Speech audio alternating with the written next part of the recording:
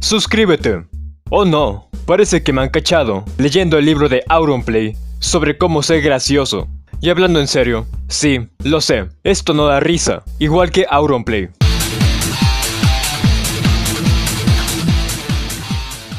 Hola imbéciles, soy yo, Etheldred, con algo diferente a lo usual. Verán, lo que hice, y probablemente no debí de hacer, es investigar si efectivamente como el mito lo dice, Auronplay no da risa. Y como hice eso se preguntarán. Fácil, vi tres videos de él, uno siendo el más reciente, el segundo uno de hace tres años, y el tercero uno de hace seis, para en pocas palabras compararlos y ver qué ha pasado, ver qué ha hecho que la gente piense que él simplemente ya perdió la chispa. Así que eso, en pocas palabras me sometí a tortura, por lo cual suscríbete, mínimo para que esto haya sido por algo. Pero bueno, en el primer video me estaba preguntando cuándo se acabaría esto, porque en primera, sus chistes son el equivalente a un anciano tratando de parecer cool y a la moda. Ya saben, uno tiene que conectar con la chaviza. En fin, en segunda, el vato literalmente explica lo que la audiencia acaba de ver. Por ejemplo, digamos que está reaccionando un video sobre un pato caminando. Digamos que el video ya pasó, ¿no? Y digamos que soy Auron. Eso es lo que diría. Oh, por Dios, ¿vieron? ¿Vieron, vieron chicos?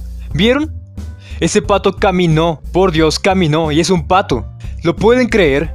Con la voz más pendeja posible, para tratar de agradarle a las audiencias menores y no quedarse irrelevante.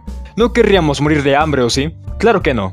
No por nada. Todos sus videos son de más de 10 minutos. Claro, ahí le da de comer, pero a mí lo único que me da es sufrimiento.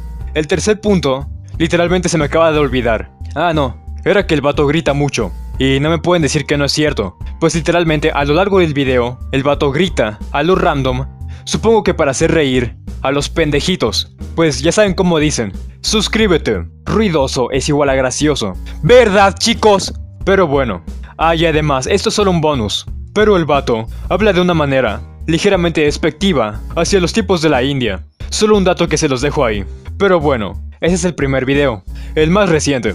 Ahora hablemos del segundo, el de hace 3 años. Y en cuanto a este no tengo tantos problemas. Básicamente es más de lo mismo, solo que menos potente. Y debo de admitir que este video no me dolió tanto ver, aunque dolor sigue siendo dolor, por más pequeño que sea. En fin, el primer video bueno, el tercero, o sea, el de hace 6 años más bien, no estuvo del todo mal. O sea, no se siente forzado. Y tampoco te está explicando lo que literalmente acabas de ver, sin mencionar que no grita cada dos segundos para hacerte reír, o más bien para tratar. Eso sí, sus chistes de anciano de 40 que quiere verse de 20 siguen ahí. Y eso, en pocas palabras, podemos concordar, sin ninguna duda, el hecho de que Auronplay no da risa. Lo único que da risa es el hecho de que yo me tomé el tiempo para descubrirlo. Ay, si se preguntan por qué lo hice, bueno, es porque quería hacerle una crítica, ¿no? El problema es que nunca había visto uno de sus videos. Además de que, ¿acaso soy el único que cree que Wismicho y él son idénticos? O sea, hacen contenido parecido y además se parecen. Ya saben, barba, español y todo eso. No sé ustedes, pero antes, cuando veía ese vato simplemente me decía, ah, alguien más del montón, ¿no? Así que por eso, simplemente nunca vi uno de sus videos. No me parecía que valdría mi tiempo. Y sinceramente, estoy agradecido por ello. En fin, un saludo a Sofía Vega. Esta vez no se me olvidó. Y eso. Suscríbanse, denle like, comenten cualquier pendejada. Bueno, ya sé que van a comentar. ¿Y qué más era? Ah, sí, visiten mi Patreon. Y dónenme absolutamente todo lo que tengan. Y todo eso. Chingan a su madre y buenas noches.